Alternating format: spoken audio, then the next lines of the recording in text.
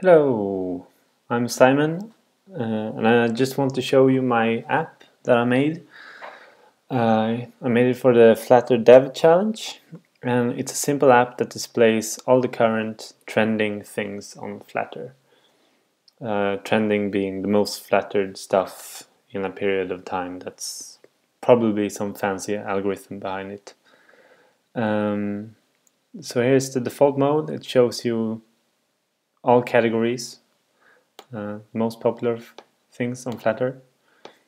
Uh, oops, that's a weird bug. Uh, I can filter here on uh, different categories, so software. I don't know why this keeps happening.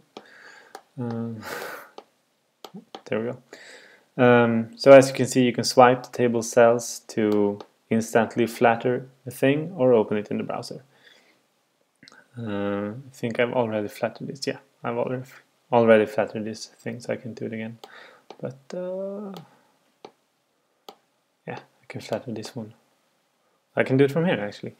So this shows uh, just the basic information about this thing. Now this thing doesn't really have that much information, uh, but I can flatter it or open it in the browser from here. Yay! Successfully fully flattered validator. Well, I guess that's that's what it does right now. I I hope to be able to fix this bug. Um, and uh, yeah, and continue developing it. You can also read a little text about it and flatter me if you want.